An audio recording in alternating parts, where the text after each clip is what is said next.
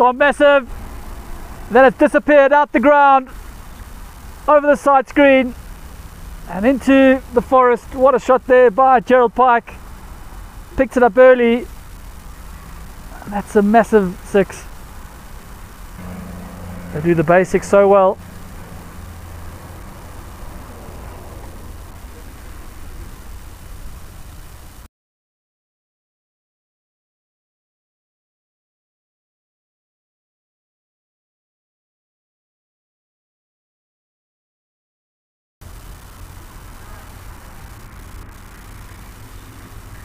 Great shot there by Jandre.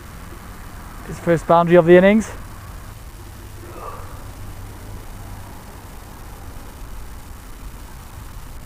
So Hiren Varaiya to continue. Great first over, just two runs off it.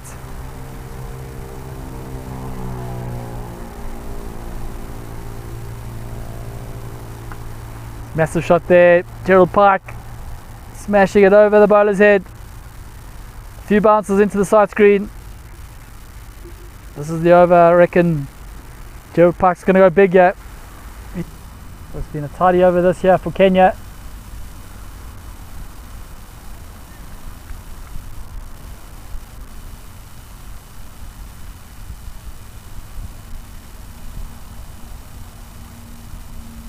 Massive shot there, as expected. Gerald Pike has dispatched it over cow corner for a massive maximum. Unbelievable scenes here at the Simba Union.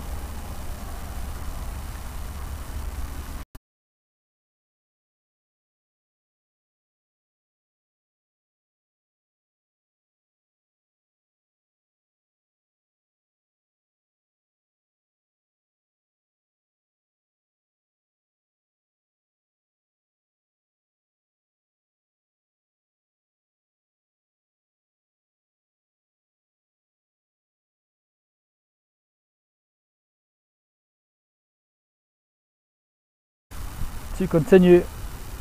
Right on medium. Gerald Pike on strike.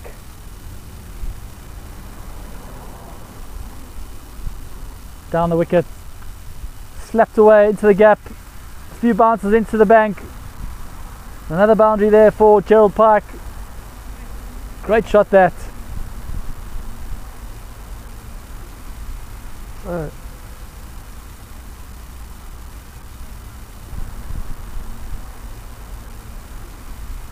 Right.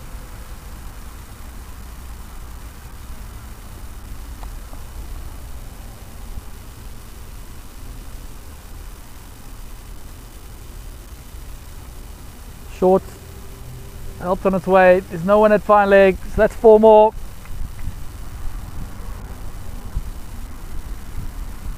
Gerald Pike moves to 46. So JD Arnold off the mark with two.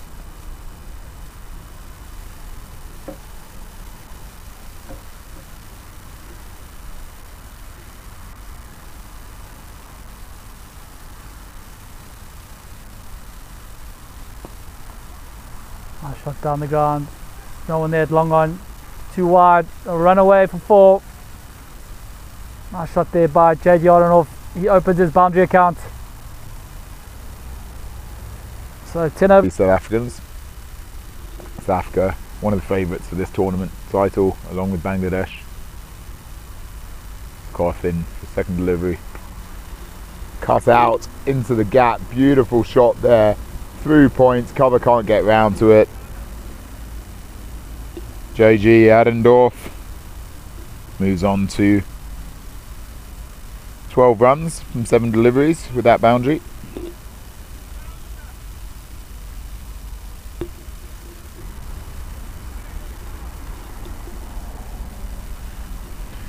90 for none after 11.3 overs. Watch a cost delivery here and then have a look at the Bangladesh rest of world game. Well hit, out to cover, beautiful batting, long off, can't get round there. There'd been an adjustment in the field with the cover fielder coming round more to point to cut off the previous boundary, but Adendorf was up to it So the rest of the world will be four points behind them going into their massive clash tomorrow. With the net run rate swing, that could mean that a narrow loss for England could still see them through. Oh, that's shorter and it's gone high in the air, but Okoth, seeing it comes round and takes it safely.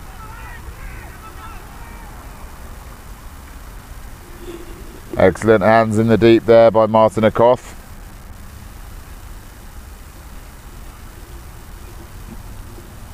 Bowler Wasonga, an old teammate of Okoth's for many years, is none for 17, the former Kenya captain, the current Kenya LMS captain. Played almost 90 games for Kenya Hiren Varaiya, vast amount of experience, comes in Flattish ball, but this good slog sweep. Has he found the gap? He has through square leg. He was in position early there, Adendorf, and this is turning into an excellent innings as he moves the score onwards to 35 off 18 for himself and 118 for South Africa. Is the man back on to bowl. He's gone for 24 runs from his three overs.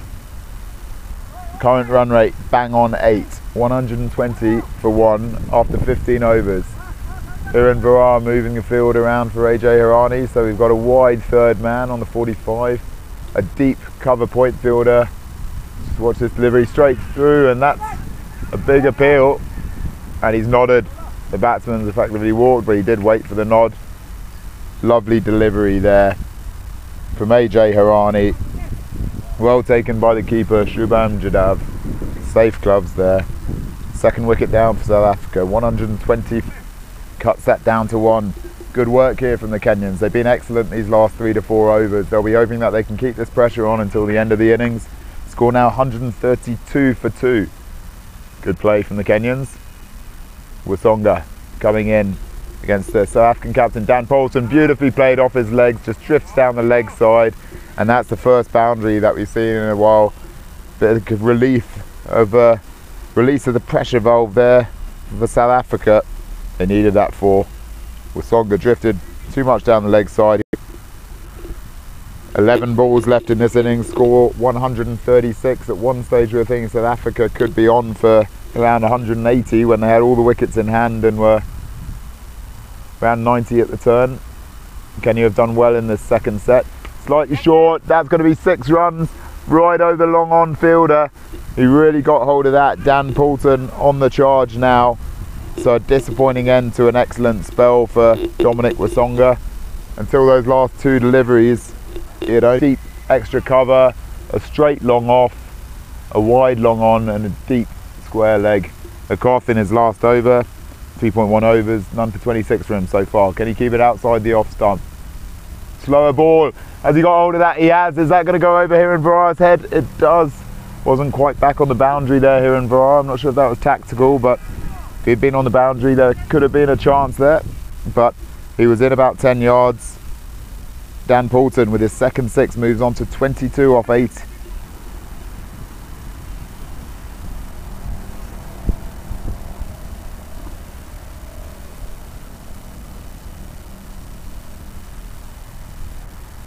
Slashed away into the gap. Went like a tracer bullet into the point boundary. What a shot there by Shubham Jadhav. Brian Ellis just missing his length.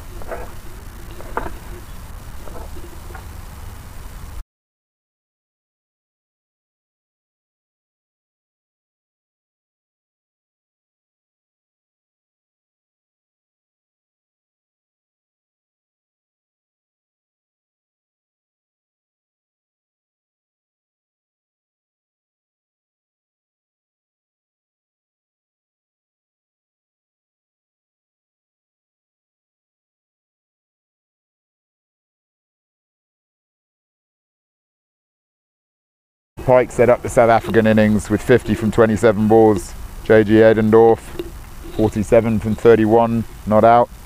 And then the late assault by Dan Poulton, 30 off 13, boosted the South African total late up to 161. Great ramp shot there, flying down to the fine leg boundary. Well played by Shubham Jadhav. He moves on to 19 off 11 balls. Clever shot there. And we've seen the pace also of Sheldon Mungru, one of the Mungru, one of the quicker bowlers in this tournament. And over also so far for Lesego, Coco Labana. Ellis, two balls left in his over. We've got a straight long off, a long on, a deepish square leg. And on the offside, they're playing the power play with a wide third man, a deep point, and a deep cover. Ellis comes in. On the offside, it goes in the air. That could be a chance. South Africans come in and they take the catch excellently. A big, big wicket. And they've got a double play. Unbelievable. Absolute hammer blow for the Kenyans. Prashant Srinivas was ball watching there in the middle of the field. They're not used to the double play rule. Min Patel, he knows that he's got to uh, got to start increasing his strike rate here. He needs a boundary from somewhere. You can sense that with that shot. Trying to target that mid-wicket boundary. What's he going to do here? Brian Ellison for second delivery of his last over. Outside off stump, another dot ball. Excellent stumping there. Very quick hands, unbelievable stuff from the wicket keeper. Up to the pace bowler, just slightly out of his crease, Jamin Patel by Samath Patel. Kenya could ill afford Samath Patel getting out anytime soon. They need him to become the set batsman. Having lost both their openers, the talismanic openers, to a double play. Screws off, the fielder comes round, takes it down, that's a big, big wicket there. Samath Patel, knowing that he had to hit a few big shots, couldn't quite get hold of that one. Screwed it out to backward. Well, it was more of a wide third man who came in quickly and held it very well. So I parted for 16. Jamin Patel stumped for seven. Lightning reactions from the wicketkeeper, and now we have Wasonga and AJ Hirani trying to rebuild for Kenya. He's hit that one hard. Has he got enough of it? Excellent play. In the end, just a four. He jumped up in the air to prevent the six there in the deep. Managed to get enough of a hand on it to keep it from going for six and becoming a four instead, but not enough to 14 off 11 now for Wasonga. AJ Hirani looking like the man who could be the one to hit the sixes that Kenya so much need. Great delivery there, coming down towards the commentary box. So let's just for a second.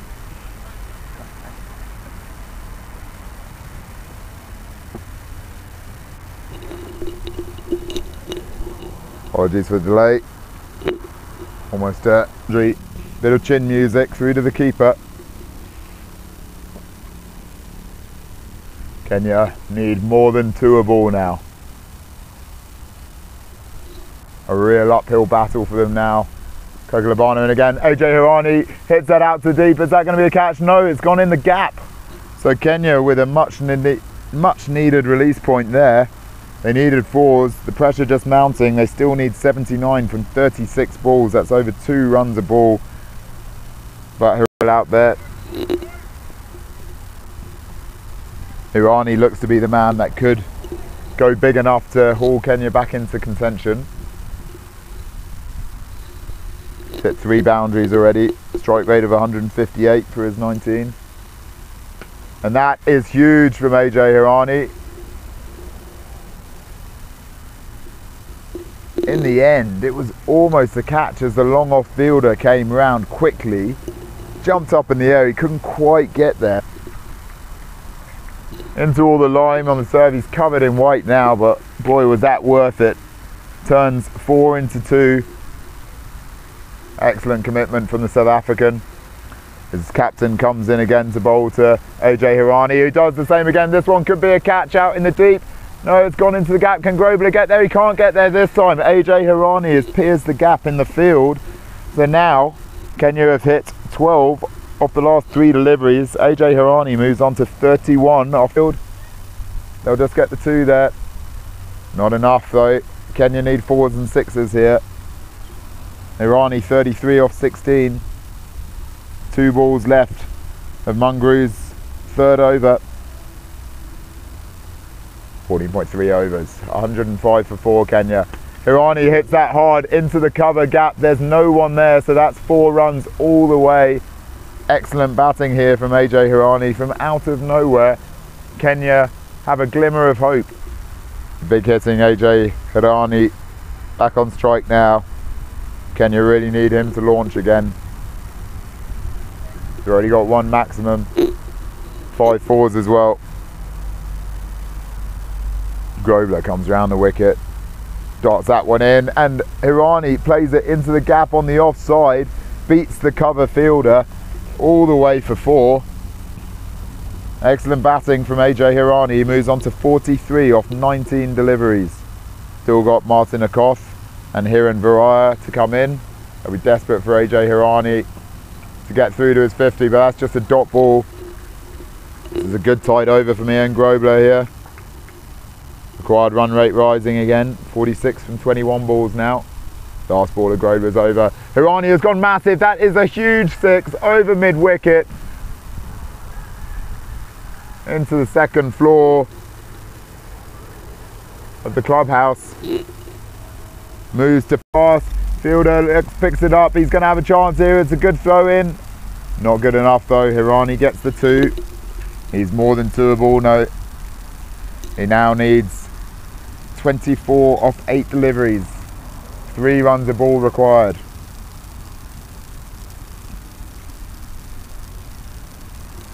Needs a maximum from somewhere. Is that going to be one? It goes straight down. It's going to long on. He knows he's got to get back. They're running for it just in case was a mistake.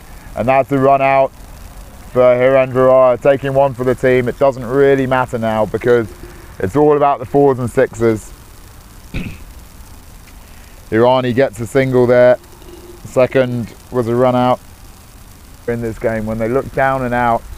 Wonderful batting from the Meru Cricket Club player down in Nairobi where he lives is six hours away from Nairobi. So great to see him drive down to this tournament. He's hit three sixes already and six fours. He needs two or three more of them and that's relatively big as it gone into the gap. It has. So another four for AJ Hirani moves on to 62 off 26 balls but he needs a maximum from somewhere. 19 off 6